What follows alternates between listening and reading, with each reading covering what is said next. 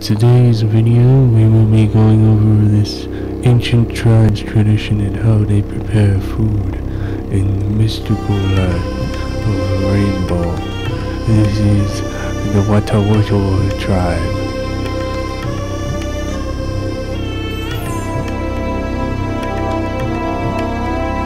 They have many strange traditions, and not many outsiders have been here because they're scary, very scary and.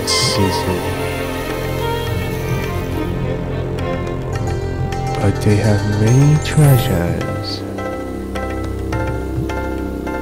But at what cost? As you see here, they are brutally murdering an egg. Why would one do this? Who knows? It could be anything. Why would the rainbow in the cucumber? Extra icy cucumber.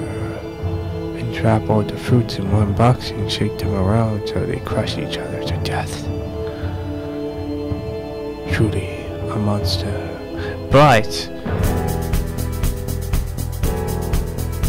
in the end they have happy happy fun time orange juice.